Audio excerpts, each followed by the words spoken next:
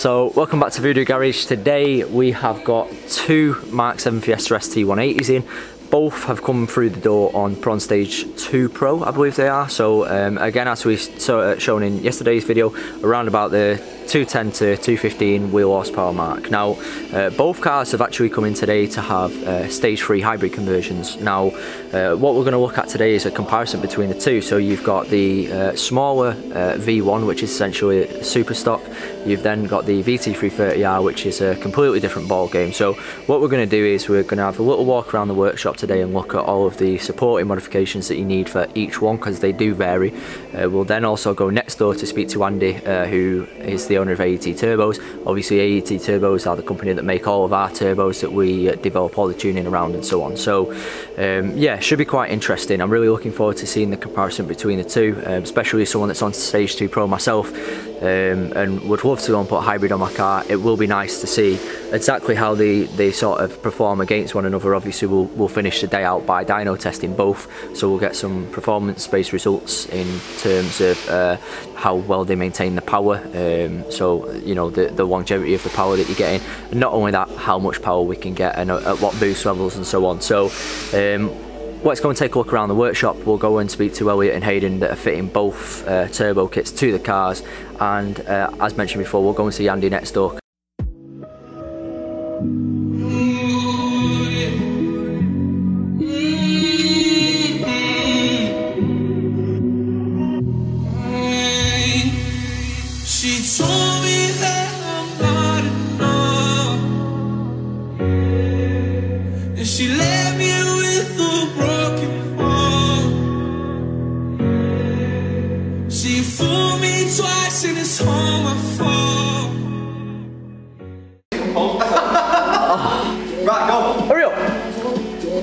Hey, you alright mate? How you doing Paul? Nice to meet nice you. To meet I'm Aidan. Pair of idiots. I'm right, tell the camera, mate, tell tell the camera what different hardware setups you need on each turbo, because obviously there's a difference. What can you get away with running on that that you can't with that? I don't know. You can get away with stage 2 cooler on a V1. It's not as efficient as running a stage 3 cooler, um, but it can be done due to lower running temps. So what are you going to put on that that Hayden's not putting on this today? I'm putting a stage 3 intercooler on along with the Airtec bigger boost pipes, obviously running more boost, you need something a bit more uprated.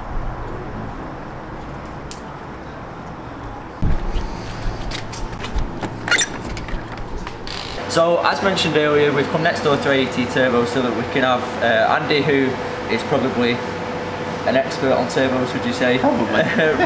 run, through the main differences between purchasing your V1 hybrid and your VT330R. So from a novice point of view, what, what's the main differences between the two? Well, the VT, or the, the V1, as it was called, uh, which we produced for Perron, was a direct fit hybrid turbo to produce 280 horsepower. Right. So, to do that, on a, on a standard turbo, obviously it needs to pump more air. So to pump more air, we have to change the compressor wheel. So we go, we fit a larger compressor wheel inside the compressor cover. The cover is CNC machined to match the wheel. Also we need to increase the size of the turbine wheel because obviously whatever the compressor wheel produces it's got to go through the engine and get back out of the engine again. So to make sure that we've got the right amount of flow or that the turbo can handle the amount of flow, we have to increase the turbine wheel. With increasing turbine wheels, downside as always is the amount of lag. So the remit for this particular turbo is to produce a very very responsive turbo to produce the horsepower. So we didn't go overboard on the size of turbine wheel or compressor wheel on this particular unit. So with all that being done, this unit, everybody knows about the V1. It does what it what it says on the tin. Awesome bit of kit, very punchy, produces the figures time after time. So as things have moved on though, we need to, you know, people are demanding more horsepower from the hybrid turbos that we do. So we needed a unit that was going to do 300 wheel horsepower. Um, so to do that we had to make quite a few adjustments to the design because we can obviously ultimately machine out the cover on the V1, put a massive big wheel in there, but that has a downside. Because we're maintaining the standard cover, you've got a certain amount of volume there. If we put a massive, massive wheel in there, that you know the largest you can fit in there, all that's going to happen is you're going to produce a lot of hot air, which is all right for a couple of runs. You know, it's fine. You'll you'll get some results, but for what we want to do is, you know, we're looking at um, circuit racing, uh, endurance racing, where the turbo is going to be on boost heavily for a long periods of time. So we have to be mindful that we can't be generating excessive heat that we're, then impacts on intercooling, oil, many other things on the engine. So we had a bit of a complete redesign. Uh, so that this is where we get the VT330. So the main difference between these particular two units is everything. In short, uh, all we've reused on the on the VT330 is the turbine housing. Everything else is bespoke to this particular turbo. The bearing housing, the shaft and wheel, the bearing system has all been upgraded to a, a K04 system which we improve up to 420 horsepower. Um, we've also changed the cover to a larger volume cover so that we can fit a larger compressor wheel in there and not generate excessive heat. Uh, what that does is by keeping the temperatures down, your ignition's not going to be winding out, um, power uh, sorry, your ECU is not going to be winding ignition out over time as the heat increases. Uh, we've got a nice bell mouth here, we can fit the Turbosmart BOV, have the Turbosmart actuator. Also another good benefit with increasing the size of the bearing housing is the oil. Now with this particular unit, if we're generating tremendous amount of heat, we're running on quite small oil galleries within the turbocharger. Um, over time again that can be an issue. With the VT330 with us moving up to the K04 bearing housing system we've got a lot larger bearing housing can carry a lot more oil so the temperature of your actual oil is going to come down.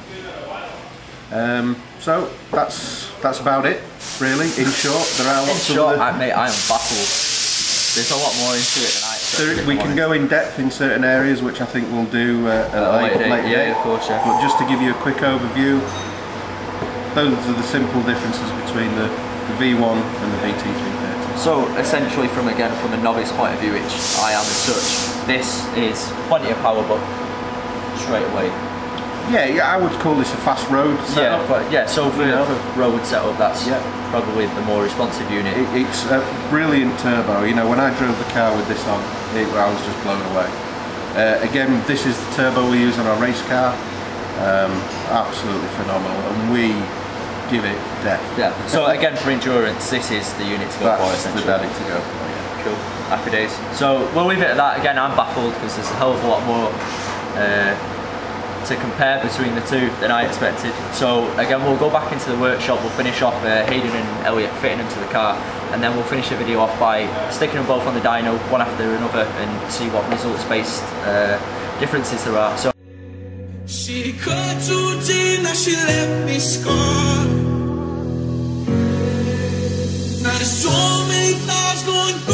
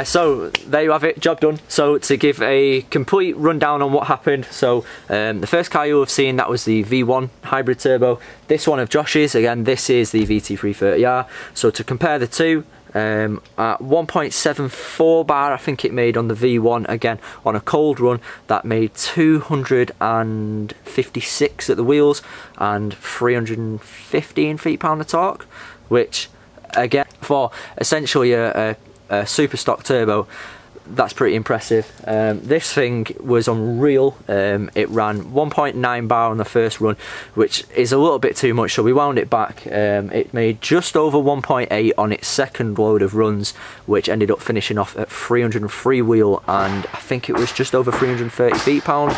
Um, again, when it ran 1.9, I think it did 306 at the wheel. So uh, again, not much of a difference from dropping the boost down a little bit, but again, just to be a little bit more conservative and a little bit safer, uh, it's always best to you know br bring the boost pressure down. So again, we know that the car's going to leave nice and safely, and we're going to have no issues afterwards. So.